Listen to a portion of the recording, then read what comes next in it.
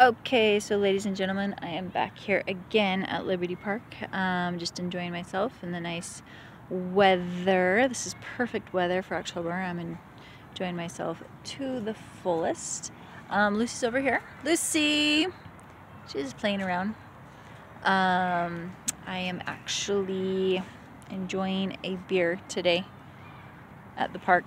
So I brought um, two beers with me and I ended up giving the first one away to um, some slackliners. I don't know if you guys are familiar with slacklining. Um,